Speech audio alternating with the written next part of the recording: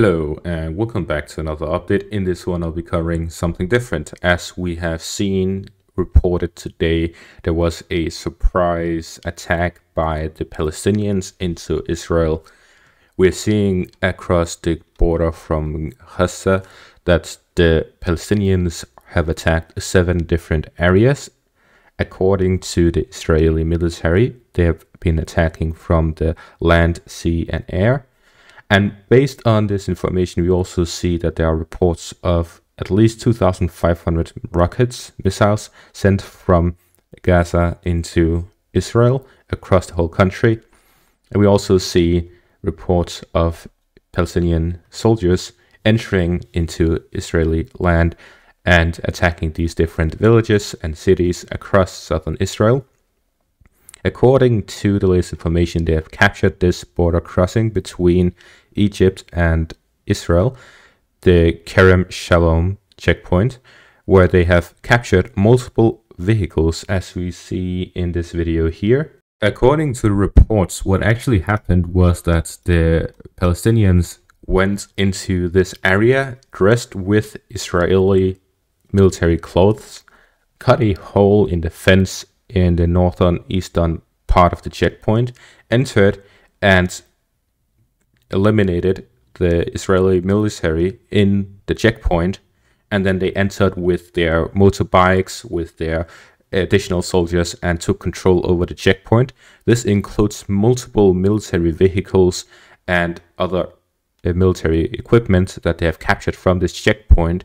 And since then, there's been fighting in this surrounding area, as well as in the direction of the village of Nir Oz, which is also in the border between Gaza and Israel. We're also seeing fighting all the way into a 20 kilometer depth to the village of Ofakim, here in the southern part of Israel. We're also seeing fighting in the village of Netivot and in the northern part in the direction of Sderot, Zikim, and Neot Ashkelon. So in all of these areas, the Palestinian military has entered, or the Gaza Hamas military groups have entered these areas and are fighting currently in these areas. There's been a lot of videos of fighting across in small arms fire mainly, but also we have seen video of a tank burning. According to the surrounding comments on that, it is not clear whether it is new or old, but there is these pictures here, which is of a Israeli tank and armored personnel carrier, which have both been captured by the Palestinian guys. So we have seen both armored vehicles and tanks being captured by the Palestinians in this surprise attack.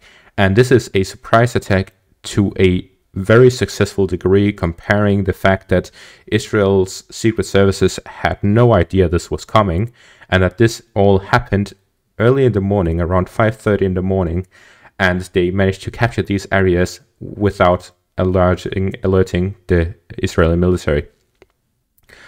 The Palestinians here have managed to actually capture multiple of these uh, areas where the fighting is ongoing and the fighting is going on in the sense of small arms firing and there's no coordinated counterattack by the Israeli military yet as of 9 in the morning.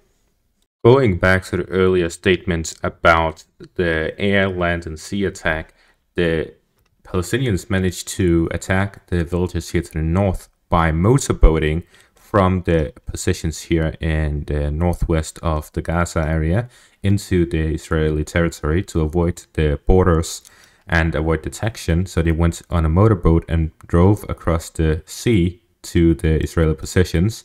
And then someone paraglided from the buildings within Gaza. There are high buildings, tall buildings. They jumped off one of those buildings and motor glided with a motor coupled with a gliding, flying through the areas by himself into the rear cities here, most likely how they entered Ofakim here in the southern parts of Israel. So there's a lot of fighting focused around this gap between uh, southern Israel, between the western bank, which is under uh, Palestinian autonomy, and the Gaza Strip here in the southwest. So in this attack against Israel, the Palestinian groups, all of them are working together to conduct this offensive. Although there has been no reports of any of the Arab leaders surrounding Israel, neither Egypt, Jordan, Syria, Lebanon, Saudi Arabia, Iraq, or Iran has said anything about this so far. There's been no response from them, and there's been no update. So most likely this offensive, this surprise attack was coordinated between the Palestinian groups, but not with other countries. And maybe they're hoping for the other countries to support them once they see the success that they're having. But so far the fighting has only been ongoing by Palestinian groups against the Israeli government. According to the latest information, the Israeli response so far has to scramble all of the available units to try and deal with this current situation. They've also started airstrikes on the Gaza Strip while the Palestinians continue launching missiles all across Israel. They claim that they're launching up to 5,000 missiles, while the Israeli government so far has reported 2,500 missiles sent from the Gaza Strip into Israel. And that amount is purely too much for the Israeli Iron Dome system. They need to recharge their missile systems, and the rate at which the missiles have been fired is over is over the capacity of the Iron Dome system. So there's been a lot of missile strikes that has actually hit Israeli territory all across the country. It is difficult to imagine that the Palestinians actually think that they will be able to defeat the Israelis by themselves. So most likely they are betting on one of the Arab or Muslim country leaders to actually support them directly, whether it be Iran, Iraq, Syria, and the Hezbollah area here to the south of Lebanon supporting them, or it is a general Arab coalition similar to the first few wars between the Arab countries and Israel. But the current situation is a clear surprise attack that gives a big advantage to the Palestinians in this initial period because they have managed to surprise the Israeli secret services and thus be able to overcome this uh, initial stage where they have managed to capture some of these border military bases, taking control over Israeli military equipment, and capturing these bases gives them a huge advantage in this initial stage, to the point that the fighting is now taking place within Israel and not within the Gaza Strip.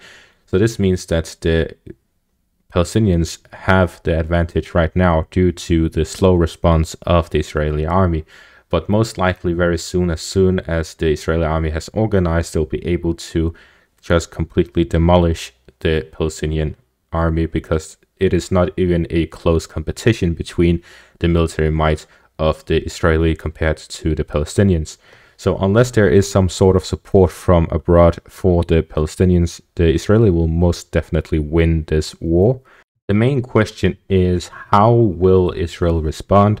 According to preliminary information, there's going to be a meeting between the general staff of the Israeli army with the Israeli government, and most likely the Israeli government will declare war against the Palestinians here and then use the full might of the military to just get rid of the Gaza Strip. That is most likely what uh, the intention of the Israeli government is right now. How will this provoke a response from the surrounding Arab countries or Muslim countries like uh, Iran, Iraq, Syria, and so on. That is another question that we do not have an answer to. There is only speculation. So, in the end, all I can say is that a war has started in Israel for yet another time as the Palestinians launched a surprise attack against the Israelis and has managed to gain some initial success. However, with the silence of the international community, as far as I have seen, there's no world leader that has responded and talked about this event yet. So all we can say is sit and wait until we get info uh, official information from different countries who may or may not get involved within this conflict. And that is going to be all for this update. Thank you all for watching and have a great day.